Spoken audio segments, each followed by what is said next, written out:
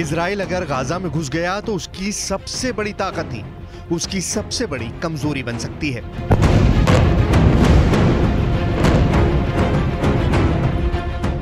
ये बात नेतन्याहू को सबसे ज़्यादा परेशान कर रही है। ये बात इसराइल की फौज को बड़ा झटका दे सकती है।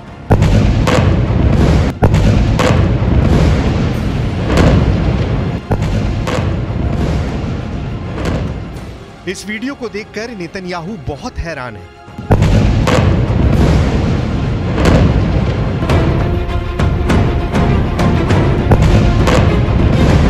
ये इसराइल का सबसे शानदार टैंक, मरकावा है जो अब हमास और हिजबुल्ला के टारगेट पर आ चुका है।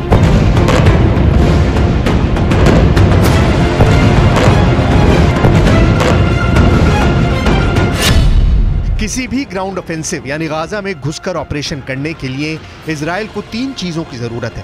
पहली है फौज, यानी पैदल सेना। दूसरी है बख्तरबंद वाली ताकत, यानी टैंक और बख्तरबंद गाड़ियाँ। और तीसरा है तोपखाना, जो सेना का रास्ता क्लियर करे। लेकिन जिस तरह से मरकावा टैंक की तबाही के वीडियो सामने आए हैं, उसने इसराइल की सेना की मुश्किलें बढ़ा दी हैं। नेतन्याहू को चिंता में डाल दिया है कि जिस टैंक के बलबूते वो गाजा में ग्राउंड ऑपरेशन चलाकर हमास के लड़ाकों को खत्म करने का ख्वाब देख रहे हैं, वो खुद हमास और हिजबुल्ला के निशाने पर आ गया है। पहले देखिए हमास ने किस तरह इसराइल के मरकावा टैंक को तबाह कर दिया। ये एक क्वाडकॉप्टर ड्रोन पर लटकता हुआ एंटी टैंक रॉकेट है। ये ड्रोन इस आरपीजी के रॉकेट को ऊपर से टैंक पर गिरा देता है और फिर होता है ऐसा धमाका। जिससे टैंक का एक हिस्सा पूरी तरह बर्बाद हो जाता है। एक बार फिर देखिए।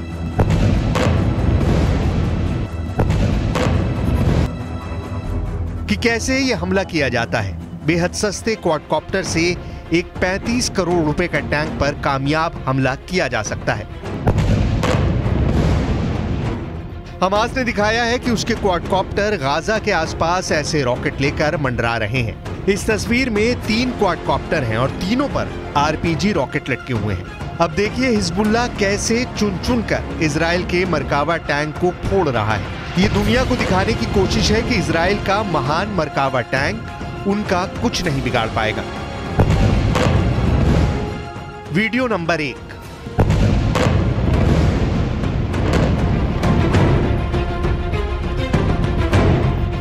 वीडियो नंबर दो।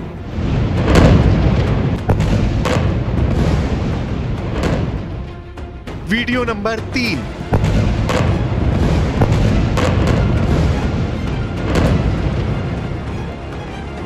वीडियो नंबर चार।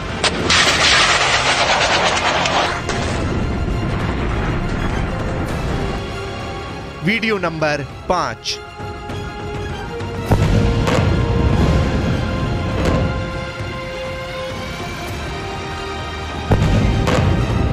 ये वीडियो किसी भी टैंक पावर का हौसला तोड़ सकते हैं। ऐसे हर वीडियो में फायर होने वाले मिसाइल टैंक क्रू को अपना टैंक छोड़कर भागने पर मजबूर कर सकती है। इसराइल के टैंक को निशाना बनाने के लिए हिजबुल्ला तीन तरह के एंटी टैंक मिसाइल का इस्तेमाल कर रहा है।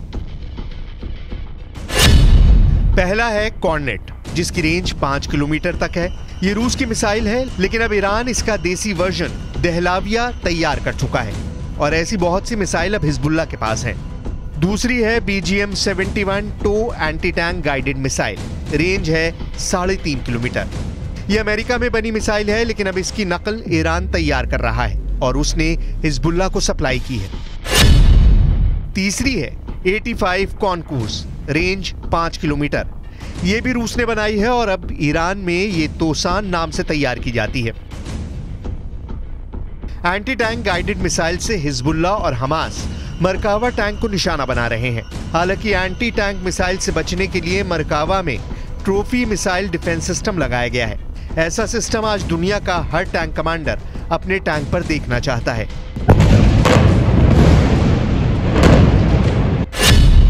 ट्रोफी एक एंटी मिसाइल सिस्टम है जो टैंक पर हमला करने वाली मिसाइल को ट्रैक करके मार गिराता है। ये एक तरह का रडार है जो दुश्मन की मिसाइल को ट्रैक करता है। और फिर टैंक में क्लोज इन वेपन सिस्टम उस मिसाइल पर गोली बरसा देता है, जिससे वो मिसाइल रास्ते में ही तबाह हो जाती है। ऐसा ही सिस्टम अमेरिका के अब्राम्स टैंक पर भी लगाया गया है और ये टैंक बचाने वाला सबसे बड़ा हथियार माना जाता है। लेकिन हिजबुल्ला ने इसका भी तोड़ निकाल लिया है। अब ये वीडियो देखिए। इसराइल के मरकावा टैंक पर हिजबुल्ला एक साथ दो कॉर्नेट मिसाइलें फायर करता है। ऐसा इसलिए क्योंकि मार्कोवा में लगा ट्रॉफी सिस्टम एक मिसाइल को ट्रैक करने और उसे हवा में ही मार गिराने के बाद दूसरे हमले के लिए तैयार होने में वक्त लगाता है। टैंक में लगे ट्रॉफी सिस्टम को रीलोड करने में दो सेकंड का वक्त लगता है। यही बात हिजबुल्ला को पता चल गई और उसने दो मिसाइलों को एक साथ फायर करने की रणनीति बनाई। जब तक ट्रॉफी सिस्टम रीलोड होता है, तब तक बहुत देर हो चुकी होती है और दूसरी मिसाइल सीधे टैंक को हिट करती है। उसके बाद जो होता है, उसका अंदाज़ा आप इस तस्वीर को देखकर खुद लगा सकते हैं। अभी तक हमास पे जो हमला इसराइल ने किया है, वो ज़्यादातर हवाई बमबारी की है, जिसकी वजह से गाजा की ज़्यादातर इमारतें तबाह हुई हैं और लोगों की जान गई है। लेकिन इसराइल का असल मकसद तब पूरा होगा, जब गाजा की ज़मीन पर उसका कब्जा होगा। लेकिन सवाल यह है कि इसराइल को ये करने में कितना वक्त लगेगा? आखिर इसराइल की ताकत क्या है?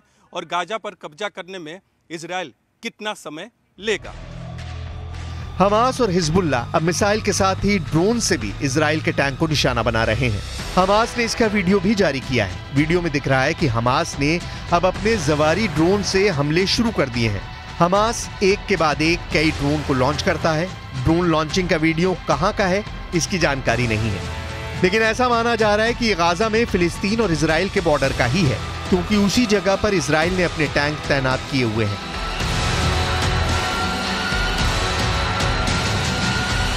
इस वीडियो ने नेतन्याहू और उनकी सेना को परेशान कर दिया है। इसराइल की आर्मी ड्रोन अटैक से अपने सबसे बेहतरीन फ्रैंक को बचाने के लिए नई नई तरकीब ढूंढ रही है।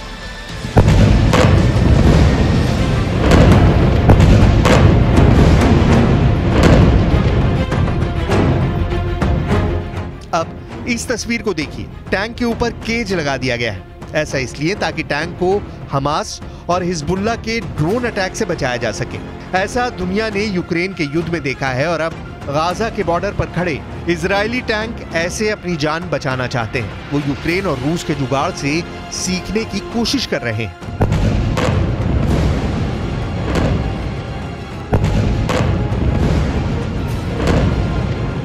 नेतन्याहू ने अपने टैंक की बर्बादी देख लिया। शायद यही वजह से इजराइल गाजा में ग्राउंड ऑपरेशन की शुरुआत से बच रहा है। क्योंकि इसराइल को पता है कि अगर एक बार ग्राउंड ऑपरेशन की शुरुआत हो गई तो दूसरे दुश्मन भी उस पर हमला कर सकते हैं। इसीलिए नेतन्याहू चाहते हैं कि इसराइल की सेना के हिसाब से गाजा में ग्राउंड ऑपरेशन किया जाए। इसराइल का मरकावा दुनिया के सबसे सीक्रेट टैंक के रूप में पहचाना जाता है। जिस टैंक के खिलाफ अचूक मानी जाने वाली मिसाइल भी नाकाम हो जाती है। ये ऐसा टैंक है जिसे लेकर इसराइल ने फैसला किया कि वो इसे कभी किसी और देश को नहीं बेचेगा, ताकि इसराइल का सीक्रेट पता ना चल सके। इसराइल के टैंक मरकावा को लेकर बहुत सी बातें हैं, जो आज भी इसराइल की डिफेंस इंडस्ट्री के अंदर ही सीक्रेट बनकर रह गई हैं। दुनिया इस टैंक के बारे में बहुत सारी बातें जानती है। इसराइल की भाषा हिब्रू में। मरकावा का मतलब होता है रथ, और अब यही इसराइल की थल सेना का सबसे खतरनाक हथियार माना जाता है। इसराइल ने अरब देशों के साथ उन्नीस सौ सड़सठ में हुए युद्ध के बाद इसे बनाना शुरू किया। 1973 के युद्ध के बाद इसके डिज़ाइन में और बदलाव किए गए।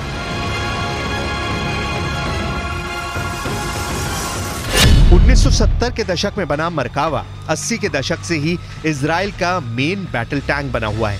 ये पैंसठ टन का टैंक है। इसकी गन 120 मिलीमीटर की है। इससे एंटी टैंक मिसाइल भी फायर की जा सकती है। 1500 हॉर्स पावर वाले इंजन से ये पैंसठ किलोमीटर प्रति घंटे की रफ्तार तक दौड़ सकता है। सबसे खास बात यह कि दूसरे टैंकों की तरह इस टैंक का इंजन पीछे नहीं, आगे होता है, ताकि दुश्मन के हमले के वक्त इस टैंक में बैठे सैनिक सुरक्षित रहे। अगर मिसाइल से अटैक भी हो तो आगे के हिस्से पर उसका असर हो।